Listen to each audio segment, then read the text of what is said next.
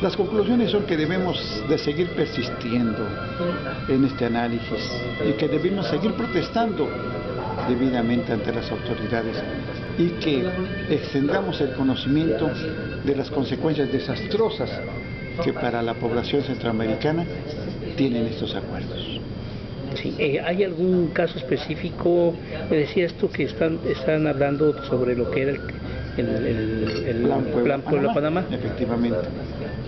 Este plan Puebla-Panamá, que resulta totalmente inequitativo y que fue cambiado, ya dijeron que se terminaba el plan Puebla-Panamá, pero solamente le cambian de nombre. Ahora es el acuerdo mesoamericano, según los intereses de los monopolios estadounidenses y europeos.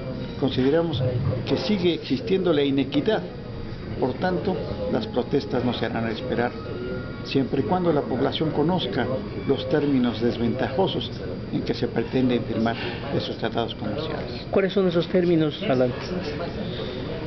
Todo es en aprovechamiento de los grandes consorcios, los salarios muy bajos, nulas prestaciones sociales, nula equidad en la relación obrero-patronal, adquisiciones a los precios más baratos para después revender los valores manufacturados a los precios más altos posibles.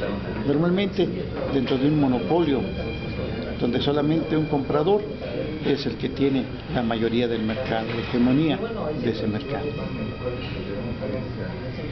Y dime una cosa, y, bueno, de, de, esa conclusión, ¿hay algún plan concreto? ¿Es el documento? El documento saldrá en la próxima semana y lo tendremos en la Red Mexicana de Acción Frente Libre y Comercio, una vez que esté aprobado por los asistentes, haya sido revisado, se redacte y lo daremos a, a la publicidad.